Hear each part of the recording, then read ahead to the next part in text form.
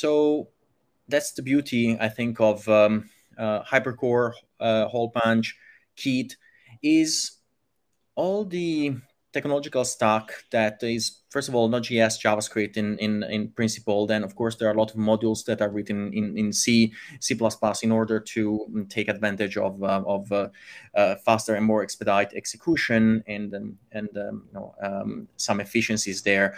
But uh, the if you think about it, this is one of the holy grails of uh, of uh, of Holepunch as a platform. So we can empower all the web developers to build unstoppable applications as they were building websites. So this is actually, you know, the way to to scale to hundreds, thousands of applications in a really quick amount of time.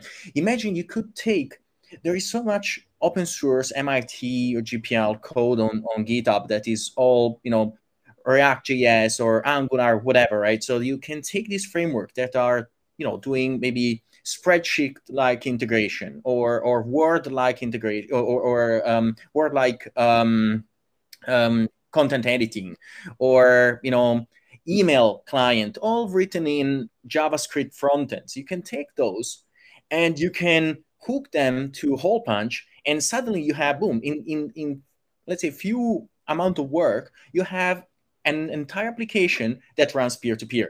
So the actually the super clever thing about Holepunch is allowing everyone to take existing projects that are open source or they have been building in the past based on JavaScript and, uh, and, and website technologies and just adapting them to the peer-to-peer attack.